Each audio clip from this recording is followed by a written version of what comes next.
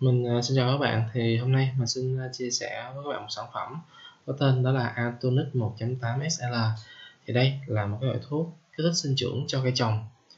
Ở bên trái hình của các bạn đó là mẫu mã của gói Atonic. Gói này thì có cái cách đó là 10ml. Về thành phần của sản phẩm Atonic thì sản phẩm này nó có ba hoạt chất chính.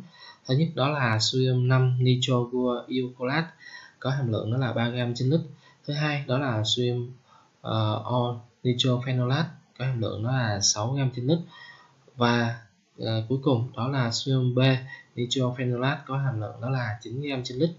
Thì ba cái hoạt chất này uh, trong um, nông học uh, họ thường dùng đó là compound sodium nitrophenolate các bạn ha. Thì đây chính là ba cái chất gọi là kích thích sinh trưởng à, rất là phổ thông rất là thông dụng cho cây trồng. À, khi mà chúng ta phun à, những cái thuốc mà nó có ba cái hoạt chất dinh dưỡng này thì nó làm cho cây thứ nhất là đúng hai hoạt chất uh, nghĩa đen của cái hoạt chất luôn. Đó là làm tăng khả năng sinh trưởng uh, của cây. Đồng thời nó bảo vệ cây trồng tránh khỏi những ảnh hưởng xấu do điều kiện sinh trưởng không thuận lợi gây ra. Ví dụ như hạn hán áp thấp nhiệt đới lũ lụt vân vân. Thường thường thì uh, tinh thể của uh, ba hoạt chất này nó có màu đỏ cam uh, và chúng ta có thể phối uh, hoạt chất uh, sản phẩm này Ờ, với các thuốc trừ bệnh và thuốc trừ sâu để gia tăng thêm à, cái hiệu lực của thuốc. Một cái công dụng mà cũng rất là quan trọng của ba hoạt chất này là nó giúp thúc đẩy cái sự lưu thông, tế bào chất trong thực vật các bạn ha. Chính vì vậy khi mà chúng ta phun cái à, sản phẩm Atonic cũng giống như là ba hàng chất này vào cây, thì thì nó sẽ cung cấp một cái năng lượng cực lớn cho tế bào hoạt động nó thúc đẩy sự lưu thông tế bào chất, nó giúp cây trồng tăng tốc độ sinh trưởng, nó phá vỡ cái trạng thái ngủ nghỉ cũng như là nó kích thích rễ và mầm phát triển mạnh.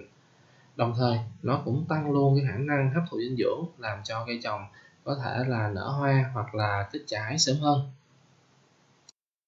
Ờ, khi mà chúng ta sử dụng Atonic ở dạng nguyên chất hay ở dạng đơn một mình Atonic á, thì nó sẽ có nhiều chức năng. Ví dụ như mình đã chia sẻ tăng cường khả năng ra rễ nảy mầm uh, tăng cường khả năng sinh trưởng cũng như là sinh sản như ra hoa đầu trái và nó cân bằng những quá trình sinh trưởng và sinh sản của các bạn ha.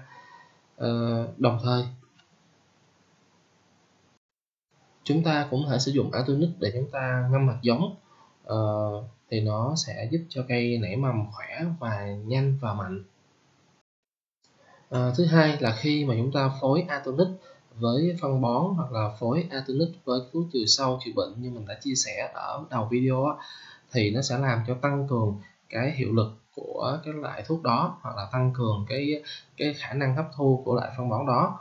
Ví dụ khi mà trộn atonic nguyên chất với các phân bón thì nó sẽ giúp tăng cái hiệu quả nó giảm sự đối kháng giữa các thành phần trong phân bón. Nó kích thích cái sự hấp thu dinh dưỡng của cây trồng à, có thể là tăng gấp đôi à, nếu mà chúng ta pha đúng theo tỷ lệ. Và trên màn hình của các bạn đó là cái cách sử dụng Atonic trên cây lúa các bạn ha. Chúng ta pha à, với nước theo tỷ lệ đó là 10 ml Atonic cho 16 lít nước.